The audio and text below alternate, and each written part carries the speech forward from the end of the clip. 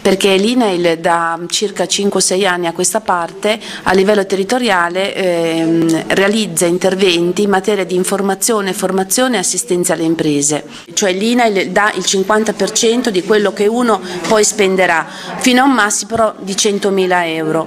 Dicevo prima che ci sono eh, delle aziende e sono chiamati a questo bando ISI, sono coinvolti tutti i soggetti.